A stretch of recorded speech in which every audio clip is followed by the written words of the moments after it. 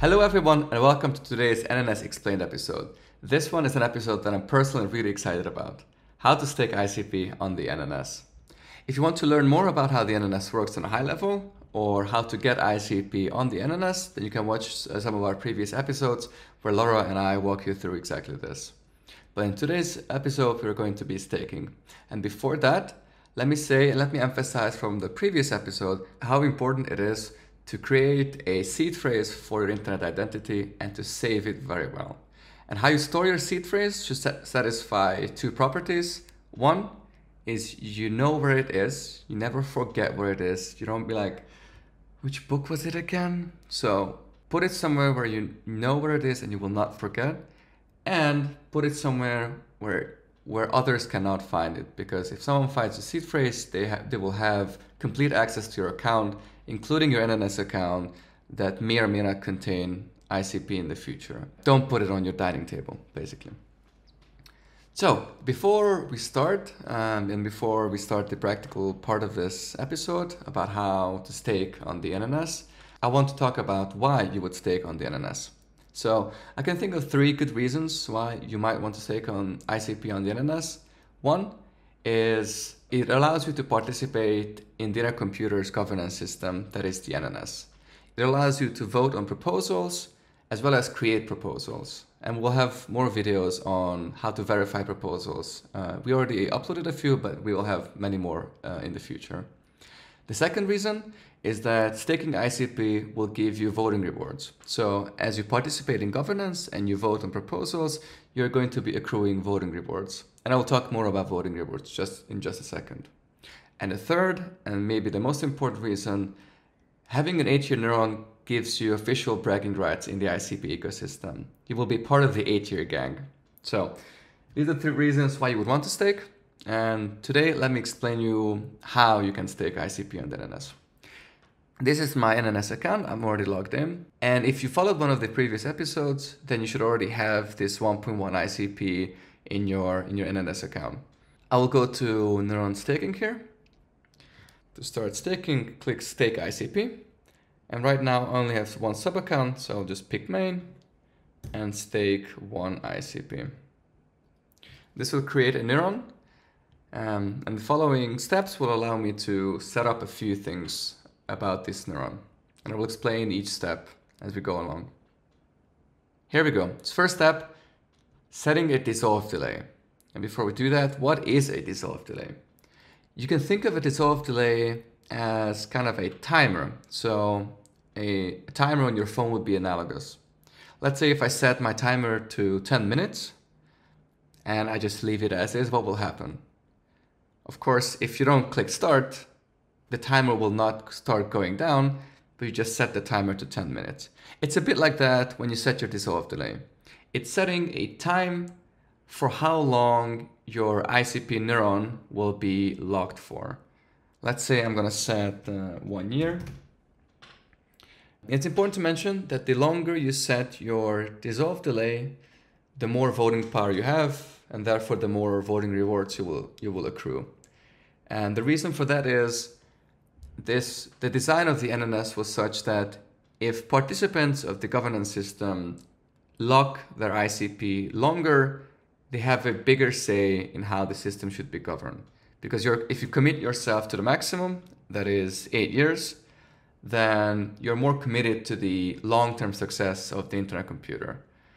Uh, for now, I'll just do one year quickly and set delay. Again, this sets the time for how long my ICP is locked for, but that doesn't mean that it unlocks in one year. It just means it's locked for a year, and I'll show you how to start the timer in just a second. And now we are in this step, follow neurons. Laura talked about how following works in a previous episode, so please watch that if you want to learn more. Today I will go through the practical part. Proposals are categorized in different topics, and you can set which neuron you want to follow for each, each uh, topic separately. However, there is this catch-all on the top that says follow all except governance and SNS and neuron fund. And this means I can follow a neuron here. Let's say for simplicity, simplicity's sake, I will follow the DFINITY Foundation, which is where I work. However, you should go through all the options and see which ones align with how you would want to vote. One good place to see uh, more information about all these neurons that you can follow is at vpGeek. If you go to vpgeek.app, you will arrive here. This is a dApp built on ICP that shows a lot of information about different neurons and, and about uh, and about governance on ICP in general. So you go to neurons, I can click all known neurons, and in the known neuron sections, I see all the neurons that were on the list in the NNS dApp, and you can see their voting participation rate. And if you click on them, you can see how they vote in general. So this is a nice place if you want to pick something other than the DFINITY Foundation. And if I close this window now, then my neuron may not vote on all proposals because governance and SNS topics are excluded from this catch-all. So it's neatly organized. These are the next two that I can click following. And for this, I will follow someone else. Let's see. I see that Geek Factory votes on all proposals. So that's nice. To read Geek Factory here. To reiterate, you will only get voting rewards if you vote on proposals, which means missing votes on different proposals will not grant you voting rewards. And I'll do the same with SNS and Neurons Fund.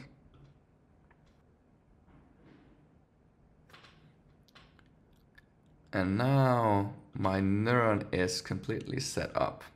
So here I have my NNS neuron with one ICP stake, zero maturity, we'll come back to that in a minute, and the one year timer or the one year dissolve delay. So if we open up this neuron, it shows more information about how the voting power is calculated and some of the actions that you can do with this neuron.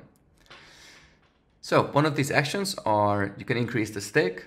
Of course, this is just a demonstration. That's why I have one ICP, but you're welcome to increase the stake. You can also start dissolving and start dissolving is equivalent of to clicking the start button for starting the timer.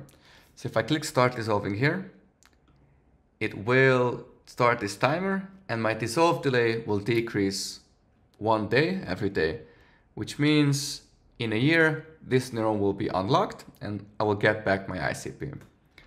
But if I click stop dissolving, you can start and stop dissolving anytime you want, the same way you can start and stop the timer anytime you want. One thing you cannot do, you cannot decrease the dissolve delay of a neuron. You can always increase it. So here, now it's one, one year, but I can increase it to two years up to a maximum of eight years. And why would I keep this neuron locked instead of starting the timer? And this is where age bonus comes in. The longer you keep your ICP locked, the more age bonus it accrues, which means you will have more voting power, your vote will count more in the NNS proposals, and therefore you will also get more, more voting rewards. Voting rewards or vote and voting power are calculated based on these three numbers. One is how long the dissolve delay is. The longer, the more voting power. How long your age bonus is or how large your age bonus is, the larger the better. And it has a maximum value of 1.25 as a multiplier and how much ICP you have staked. Voting rewards come in the form of maturity. Maturity is a property of a neuron and once maturity reaches at least one, once available maturity reaches at least one, you can spawn a neuron which will in a week's time create a new neuron that will contain somewhere between, in this example, somewhere between 0.95 and 1.05 ICP. Basically, it is a non-deterministic process, so it's a bit random depending on the ICP's price fluctuations, how much ICP you will get. But for convenience sake, you can think of one maturity equaling roughly one ICP, which slightly differs depending on when you spawn your neuron. A few other things you can do with your neuron is automatically stake new maturity or participate in the Neurons Fund. And the Neurons Fund is uh, something we will talk about in a later episode. This is now outside of uh, the scope of this episode. Maturity, as, as you can see, it also has two different parts. One is available maturity and the other is staked. Available maturity is the one that if, if this reaches one, you can spawn the neuron. But stake maturity is something that counts towards your stake. So let's say if I have 10 ICP here and I have two staked maturity, then my voting power will calculate as if I had 12 ICP here on the top. So now that we have this one NNS neuron containing ICP, what else can we do with this?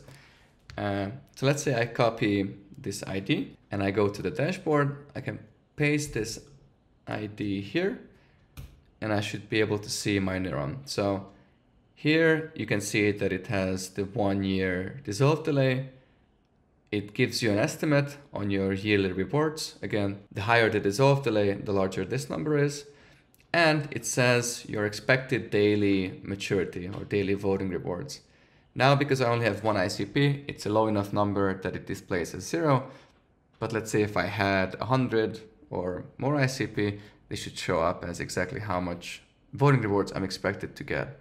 And now a little bit more about voting rewards. So let's say if I stake 100 ICP for four years and I keep it locked, but then I start dissolving after two years, how much voting rewards will I have accrued in, in the six years that it's locked? And this is something that you would probably have to write a script or do some calculations on. Um, and that's why this comes in really handy. It's called the NNS Neuron Sandbox. It will be down in the description, the link for this. And here you can set up all the properties of the neuron that you want. So let's say I have 100 ICP and I'm at day zero. I'm going to set my dissolve delay for four years. Uh, four years is 365 times four, so that's 1460. Confirm. Now I have in this sandbox 100 ICP stake for four years. I can see my dissolve delay bonus and I can click start. And on the right side, you will see the maturity that you accrue, you accrue over time. And now we are at one year and I said I'm going to start dissolving at two years.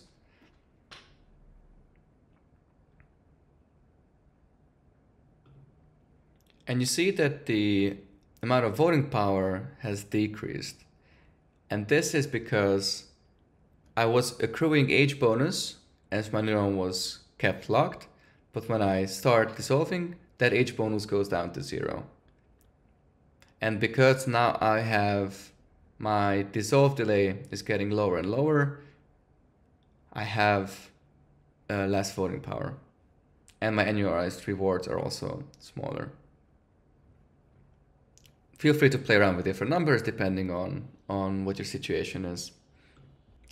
Something else that is important to mention, I said that 8 years is the maximum that your dissolve delay can be, but the minimum is 6 months. Be below 6 months, you can set the dissolve delay to, for one day, but below 6 months, the neuron cannot vote on proposals. And the reason for that is the NNS was designed such that the participants of the governance system should be incentivized to vote in favor of the Internet Computer's long-term uh, future.